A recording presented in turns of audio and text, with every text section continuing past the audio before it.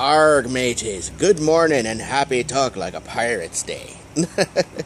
uh, Dumac the artist coming at you uh, outside, I know, here in uh, Connecticut, and it's a beautiful, gloomy day outside. It's a beautiful, gloomy day, foggy, humid, misty. I'm just uh, wrapping up my little exercise during my working vacation. Uh, I'm currently working on the pages, the first five pages for Fu Point Modic, and I'm on page number five.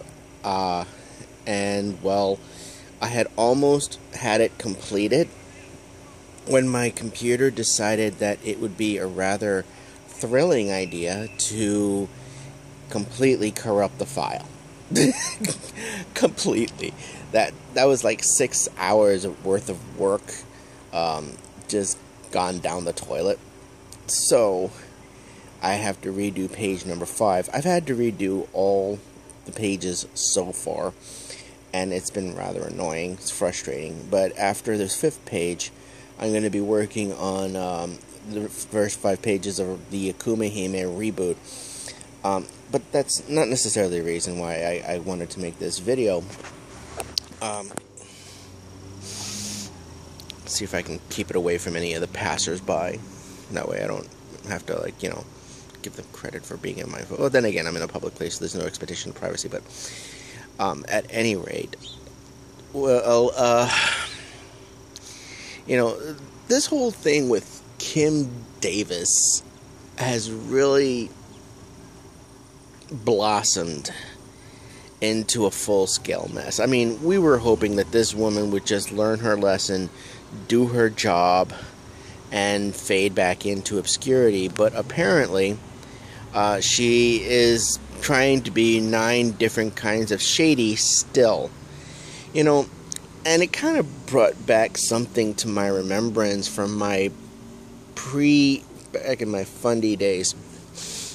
I know a, a lot of things do that lately but it's sort of like this whole idea of you know not being shady. Now, one of the things that have to be made clear is that Kim Davis's brand of evangelical fundamentalism makes everything into a heaven or hell issue, which includes the length of your hair if you're a woman or a man, the way you dress, everything. She is um when you know the apostolic religion is a very legalistic, very domineering, controlling religion. Everything is a heaven or hell issue. And we get that. You know, I get that because I've had experiences with people like Kim Davis before but the fact of the matter is that as much as she may claim to have changed her ways, she was shady before she converted, and she was and she's even more shady now. Because you know at least now she has to hide her bad behavior. So that means she has to be even more shady in order to do something really messed up to people. You know I don't necessarily want to judge another person because it's not really my job, but perhaps it'll help some of us understand that, you know, you're dealing with an individual that has absolutely no problem screwing other over people. It's the truth. You know, she mess. She had four divorces. She's has. She's on her fourth marriage, and she's made a habit out of treating people badly. Now she has the veneer and the cover of religion allowing her to treat people badly because they're of a XYZ minority group that are not very well tolerated where she lives, although it's getting better. And I think the reason I'm mentioning this is that a lot of times when people convert, to a religion, they bring all of their excess baggage along with them. I know I did. You know, when I um, when I left fundamentalism, I brought with me a ton of baggage. I had a crap load of it, but you know, I'm working through it, or at least trying to. In essence, she brought over all of her shadiness and all of her, you know, mean spirited, sneaky, conniving, trifling ways. And, you know, at the moment, she can't necessarily, you know, cheat on her husband, although I wouldn't be surprised if she was. You know,